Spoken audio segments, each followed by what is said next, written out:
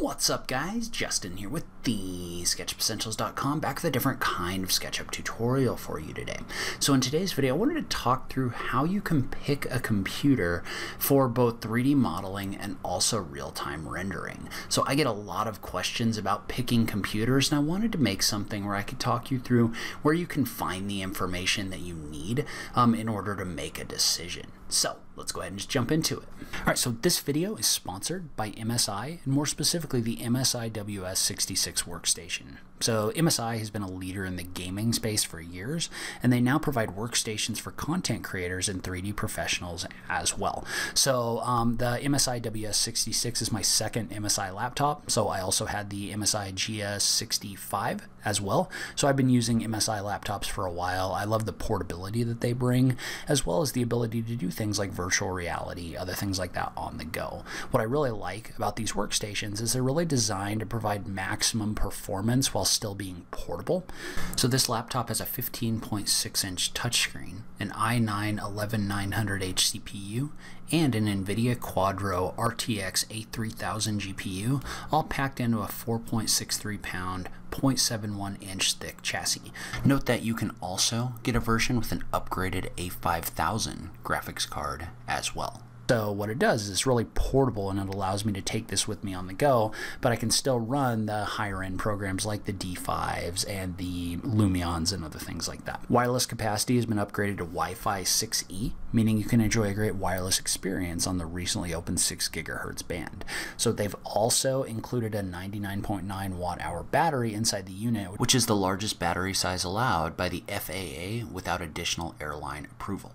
So they're really trying to maximize that battery life with this battery. Plus, this computer has ISV certification for many of the top 3D modeling and engineering programs in the world, um, as well as the manufacturers. So that includes uh, companies like Autodesk, Graphisoft, Enscape, and more. So you know you're getting a laptop that's been tested and certified to get the job done in those programs. So I will link to more information about this laptop in the notes down below if you want to learn more. So now, let's talk about what you need to do in order to select a computer for 3D modeling and real-time rendering. All right, so the first thing that's going to be important is you really want to make sure that you know what you're going to do with your computer because different kinds of programs and applications have different requirements. So, for example, um, you need to know are you planning on creating 3D models with your computer? Are you planning on rendering them? What kind of rendering program are you planning on using? Um, are you planning on using any kind of virtual reality? Are you going to be hooking a headset up to it or something like that?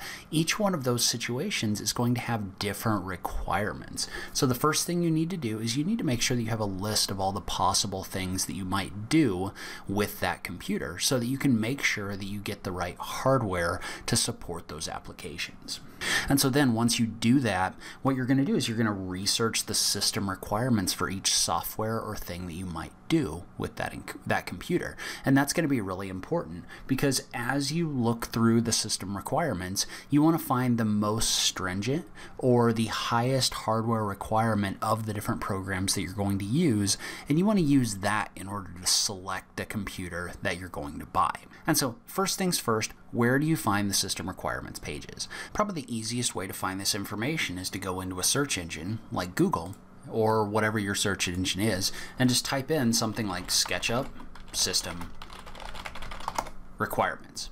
So when you do that, that's usually going to pop up a result that tells you exactly what the system requirements are for the program that you're looking at using. And so once you get to the system requirements pages, what you need to do is you need to be able to read the system requirements and understand what they need when it comes to your computer hardware. So most system requirements, the ones that are going to be the most important, will break into the following few categories. So the first thing is going to be operating systems, right? So, like for example, Enscape only runs on Windows. You can run it on uh, Macs if you have Windows installed via Boot Camp, but overall it's going to be a Windows only system. So that's something you need to pay attention to if you use like a Mac, for example. Um, Mac is usually the best example of where you need to pay a lot of attention to make sure that the program that you're downloading is actually compatible with uh, your operating system. So for most 3D modeling applications, the CPU is going to handle the tasks of representing the 3D objects on your screen and allowing you to modify them. So the actual movements and changes that you make is going to be more CPU driven. A more efficient CPU is going to do those calculations more quickly. So in addition, most CPUs also have multiple cores, which break up calculations between the different cores so they can be completed at the same time.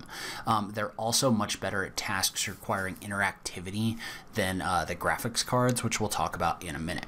Now, I will say that the process of actually working in 3D, like in SketchUp, for example, like drawing lines and moving things and all of that, is usually handled through one core of your CPU. That's a technical limitation, which I don't want to get super far into, but um, it really has to do with um, the, the way that you can break up the data for something like that doesn't work the same way as like graphics processing. What I'm really getting at with that is that means that the number of cores isn't necessarily going to make your actual 3D modeling performance better, though it will if you're doing CPU type rendering stuff. Um, that doesn't mean that the multiple core CPU isn't important. Um, it is really great for like repetitive calculations or working through large amounts of data that doesn't require um, interaction, which is why it's better for rendering times. That being said, um, you are going to see a performance improvement if you get a higher level CPU because it's going to calculate more quickly. So usually CPU and GPU are the areas where I really um, like to see people focus um, their money to get the most bang for their buck. So now I want to talk just a little bit about GPUs. So the GPU is going to be your graphics processing unit or graphics card. Um, basically what that does is that breaks the task up into a bunch of different tasks and works on them all at once. That's why it's really good for like calculating light and other things like that because it's basically a whole bunch of calculations that have to happen at the same time and this is really good at doing that. Um, it doesn't necessarily need or it, it's not necessarily best for things that require a lot of interaction as much as those like brute force force calculation things. So your GPU is going to be super important for any kind of real-time rendering software because so many calculations have to happen at once to actually display the lighting and materials and geometry in real time. So GPU is going to be really important for things like Lumion or D5 Render or even like an Enscape or some of the real-time stuff from V-Ray. So GPU is going to be super important for all of those things. So there's actually a great website called Passmark, which we're going to talk about a little bit more in the future, but it scores graphics cards based on their performance. So several system requirements pages actually reference those scores, um, like Lumion and Twinmotion. I will link to that page in the notes down below. But other programs like D5 Render are actually doing like ray tracing, so they're actually calculating the bounces of rays of light in real time. So they have very high minimum requirements because you need a really nice graphics card in order to do that properly. So their minimum is like a GTX 1060. So um, your graphics card is also going to be really important if you're going to use a VR headset because they have very high frame rate requirements. The frame rate requirements are going to be something that basically you have to render a frame um, or a certain number of frames every second in order to get smooth movement. So you're going to need a nice graphics card to do that. So um, if you're going to do any of these applications, real-time rendering or virtual reality, pay special attention to meeting the GPU requirements. I usually recommend trying to exceed the minimums if possible to have a good experience. So RAM is going to be something that's going to be moderately important when it comes to your 3D uh, modeling and rendering programs. So most places now are going to recommend a minimum of 16 gigabytes um, for their minimum requirements. So like Lumion, for example, recommends 16 as a minimum. Um, if you try to meet their recommended requirements, then uh, they recommend 32 gigabytes. If you try to meet their high-end requirements, then they're rec recommending 64 gigabytes. So the actual benefit of this really varies between different different programs. So my recommendation would be start with something that has at least a minimum of 16, but also has the ability to expand it just in case you need to do that. So most computers ship with like an extra slot or extra slots, um, or you can upgrade the RAM that's inside of your computer. It's not really a difficult thing to do. Um, but out of everything, I would say I would probably focus a little bit more on the GPU and the CPU rather than the RAM, at least when I'm starting out. Um, the other thing that's going to be really important is hard drive space. So hard drive space is something um, that really, again, varies. So you don't need a massive amount of hard drive space for like SketchUp, for example. You only need like 700 megabytes.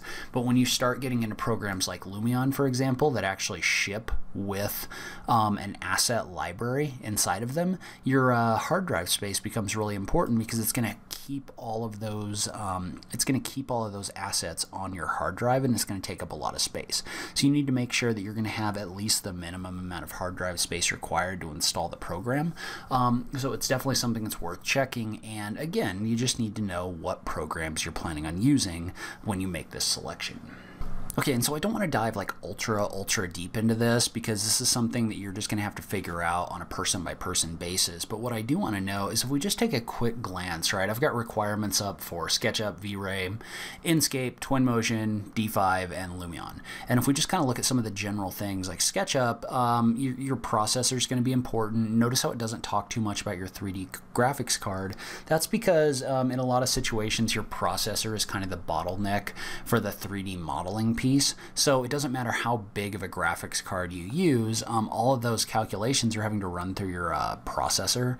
And so like going out and buying like a, the highest end graphics card is not going to make SketchUp run that much faster because all of that has to go through the processor. That's why the focus is placed here and there's not a ton of focus on saying, hey, get a really nice graphics card. So V-Ray is kind of the same way, um, unless you're using V-Ray Vision, which is their real-time rendering solution. Um, your requirements aren't going to be that that high because basically what you're doing is you're clicking a button and then it's doing calculations in the background. So if you're just going to do like a SketchUp and V-Ray situation, like yes, nicer hardware will help with your calculations, but where this really starts getting important is when you start getting into the real-time applications. So Enscape, for example, has fairly low um, requirements when it comes to the minimum, but it does recommend higher um, graphics cards. But notice how the focus starts getting placed on graphics cards as you get into these real-time engines. So this one, for example, like if you're just going to use the minimum, you can get by with a GTX 660, but the recommended is going to be a lot higher. And then notice how it gets substantially higher once you get into virtual reality because of those frame rate requirements for the headsets. So if you are planning on doing virtual reality, do not skimp on your graphics card. You're not going to be happy with your results if you do. But then, I mean, if we jump into Twinmotion, again, you're going to get the same requirements here where they talk about graphics card, um, where they start talking about graphics card benchmark scores. So those are going to be scores where um, they actually like test um, how well the graphics cards do. So they actually say, hey, we need a graphics card with a score over 10,000 based on this website. So this Passmark website can be really helpful for kind of seeing where your graphics card lies in the overall order of things. So again, like the highest scores are going to be the best graphics cards that do the best, right? So as you scroll down, you start getting into like the GTX 1080 Ti, for example, is what I have on my desktop computer. Um, you start seeing like the GTX 1080 and all of that. But this is going to be a great place for you to go and figure out where the graphics card that you're looking at kind of fits in overall. And so again, Lumion is going to say the same thing, right? For your minimum recommended and high end, they want you to beat this score. So, um, just something to kind of pay attention to when you're doing this is this is going to be a great resource for figuring out how good um, your graphics card is. And then some programs like D5 Render won't even run unless you have a minimum of GTX 1060.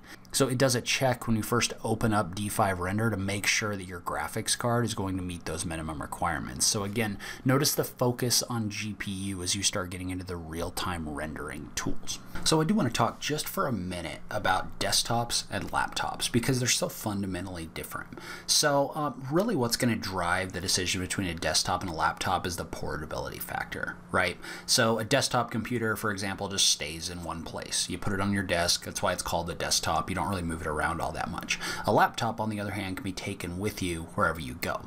And so, really, what you need to consider here is how much you're going to be moving around with your computer. Um, do you need to be able to take it with you? Um, do you travel a lot? Anything like that? If any of those things are the case, you're probably going to want to go with a laptop. So laptops, though, are just going to be fundamentally different. You have to pack a lot of hardware into a smaller space to try to get the same performance. And so because of that, um, you're going to need more sophisticated components because they have to be smaller, as well as uh, different heat management systems. So a lot of the time you are going to see a little bit of a price premium to go with a laptop as opposed to a desktop. Plus with a desktop, usually you're going to be able to get the highest end components. Um, not that laptops are low end components, but they, they just have more space and so they can fit more stuff into them. So like the super, super, super high end stuff is probably going to be more of a desktop thing, though there are laptops that have fantastic performance when it comes to 3D modeling spaces. So I get the question a lot, what am I using? So what is my hardware? So I am currently using a desktop computer from CyberPower. Um, they're a gaming company, and I don't think the one that I'm using is sold anymore, though I can link to some computers from them. Um, and mine has the i7 8700K CPU, um, as well as 16 gigabytes of RAM. So the graphics card is an NVIDIA GTX 1080 Ti, so I've had um, nothing but a great experience with that graphics card, so um, that's working pretty well. I don't know if I'm going to replace this anytime soon because I'm still getting really great performance out of it, but that runs Lumion, it runs D5, runs a little bit of everything. I may upgrade just to get some of that new um, RTX stuff that's uh, in some of the newer NVIDIA cards, but for right now I'm having a really great performance with that. So for my laptop, I was using an MSI GS65 Stealth for a while, um, the super slim gaming laptop from MSI. So I have just recently upgraded to the MSI WS66. So I'm liking the laptops from MSI right now. Um, this one has the um, Intel i9 um, 11900H processor in it, as well as the NVIDIA RTX A3000 laptop GPU with 32 gigabytes of RAM. So um, this laptop is something I'm going to do a little bit more in depth talk about a little bit later on. So we'll do some benchmarking and checking out the performance with various programs and other things like that.